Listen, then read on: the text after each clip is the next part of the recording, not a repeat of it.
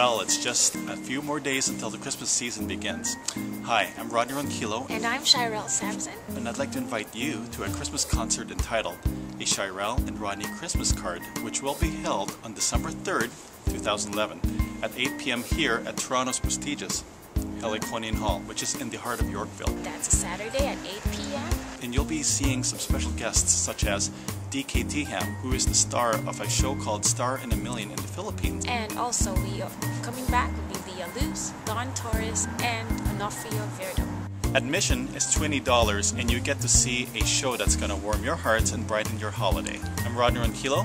And I'm Chyrell Samson. And we'd love to see you there. Hope to see you there. Merry Christmas!